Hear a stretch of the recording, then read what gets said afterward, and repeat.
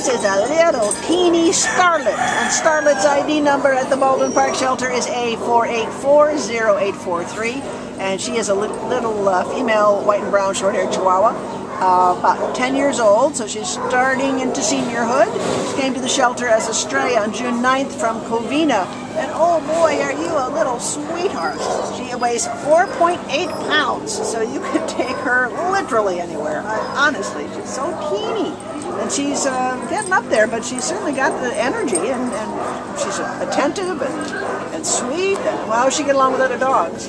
Oh, she gets along just fine with them. Um, haven't seen her have any problems with any of the dogs around out there. Um, and she's definitely a peppy girl. Um, I know it says she's 10, but she acts more like she's a five, four or five year old dog. And plus, dogs this small can live to be 20 years old, so she's only in middle age technically. Um, she also did show, show signs of being house trained, so that's already there. And she's had no problem with being held and carried, um, and really likes snuggling up with her humans. Um, she's a little scared here, but she's you know 4.8 pounds. What do you expect? Yeah, exactly, exactly. I always wonder about these little itty bitty bitty guys. It must seem so overwhelming. So big and scary. Oh, yeah.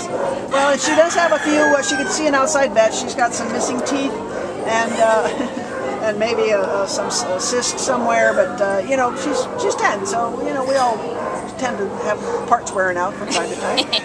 she's look at how cute you are.